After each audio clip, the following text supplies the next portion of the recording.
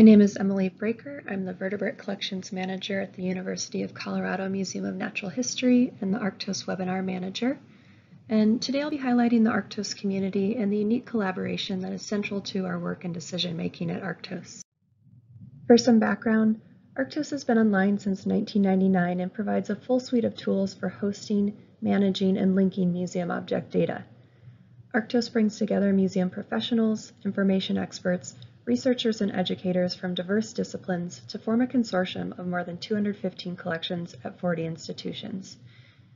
And we truly consider Arctos to be a tangible synthesis of this community, and therefore able to respond to emerging innovations and community needs. The Arctos community has really evolved out of necessity, and this is because the structure of Arctos involves a shared data environment distributed across its member institutions. This means that database values such as drop-down menu and pick list vocabularies, taxonomy, geography, people and organization names are held in common. As a result, we are compelled to work together, and so every database feature, function, or enhancement is forged from input and discussion among Arctos users. At times, this community feedback process is certainly more challenging than simply making ad hoc changes to the system, but data normalization is a core tenet of Arctos, and it allows for predictable queries that promote discoverable research-grade data. Beyond discovery, shared data often leads to efficiencies and collaborative data quality improvements.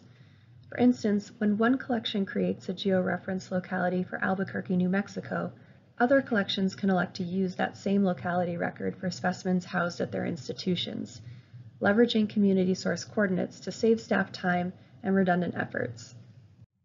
Similarly, Agent data are collated together for collectors who have contributed specimens to multiple institutions. This presents a more holistic view of career-long activity, rather than partitioning information by institution and limiting access to valuable summary data.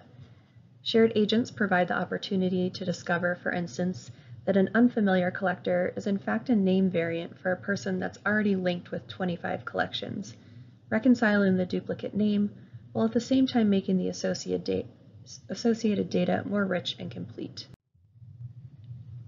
And because we work in a shared environment, integrated data allow us to easily create and track relationships between Arctos records, both within and across institutions.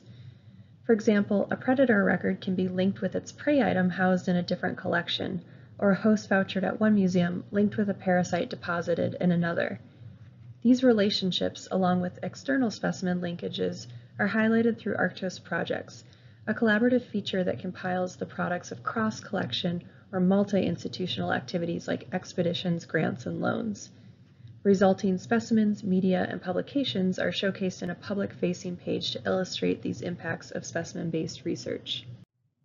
Additionally, the Arctos shared data model serves as an asset to the museum community, especially for small regional collections or mid-sized institutions that may lack local IT infrastructure or staff to maintain a server or aid with configuring IPT software. A cloud-based shared architecture aligned with Darwin Core, Audubon Core, GGBN, and cultural metadata standards allows Arctos to automate system-wide data packaging and publishing to aggregators, as well as provide services such as remote media storage, shifting these admin tasks off of individual collections.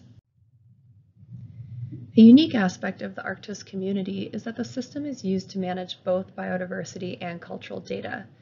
Therefore, Arctos integrates data sets and users across many disciplines, including anthropology and archaeology, earth and biological sciences, the arts, and even emerging collection types such as environmental samples and microbiomes. We believe that collaboration among a diverse network of peers is one of our greatest strengths at Arctos and bringing together different perspectives and infusions of new data types has sparked multiple innovations and creative solutions that broadly benefit all users. For instance, cultural collections can add scientific names to the identifications of their objects, allowing the records to be useful for both ethnographic and biodiversity research. Likewise, paleontology collections have borrowed sensitive data practices from cultural collections when additional data redaction measures were needed to meet U.S. federal and private land regulations. The Arctos Working Group forms the foundation of our community and has really made Arctos a more cohesive hub since it was formalized eight years ago.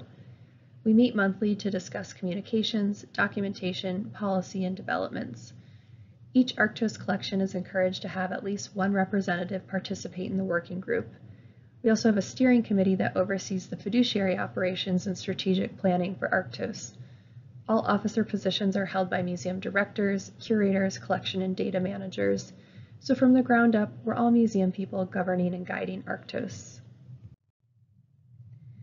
Arctos stays connected with its members through a variety of channels. We're on Twitter and Slack. We have a shared Google Drive and a listserv. We also produce a quarterly newsletter that communicates announcements and new features as well as community building sections highlighting Arctos users, new collection spotlights, and family announcements. And one of the primary ways we stay organized and participate in collective decision making is through GitHub.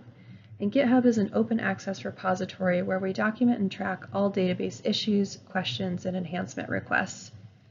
Each GitHub thread serves as a consultation where any Arctos operator can ask a question or propose a fix or new feature, engaging others to chime in with answers, or think through how suggested changes might impact their own collection. Any threads proposing significant changes are tagged as requiring community input. Dedicated committees then meet regularly to review tagged issues. Together with our programmer, teams resolve issues or bring more complex requests to a monthly critical issues meeting to review with the larger working group. This is where a lot of group brainstorming happens that seeds ideas for solutions and new features that are compatible across collections. In this way, users truly shape the development of Arctos and ultimately refine and improve data quality and system usability through this process. Additionally, this real-time feedback mechanism allows for Arctos to nimbly incorporate community suggestions. For instance, the ability to link ORCID IDs and Wikidata URLs with Arctos agents was rolled out in a matter of days after being suggested and approved. Learning in Arctos is also collaborative. New collections coming into Arctos are assigned a volunteer mentor from their field to help them prepare and migrate data, gaining an immediate connection to the Arctos community. Data migration progress and communications are tracked through a GitHub project that provides a step-by-step -step workflow with plenty of helpful documentation and a place to ask questions. Our documentation is co-written by Arctos programmers and users and shared in our online editable wiki handbook. User-generated video tutorials also document major data entry and editing tasks. And because we are in a shared environment, these resources can be conveniently incorporated into training materials for new staff, students, or volunteers, regardless of their institution. Arctos also hosts a monthly webinar series open to the larger museum community where users present on different topics, whether taking a deep dive into a particular database feature or demonstrating an overview of managing a discipline-specific collection.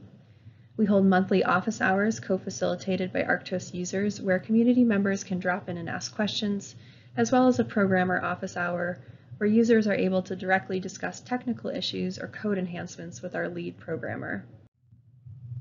So as you can imagine, with so much regular interaction, Close working relationships are frequently forged among Arctos institutions.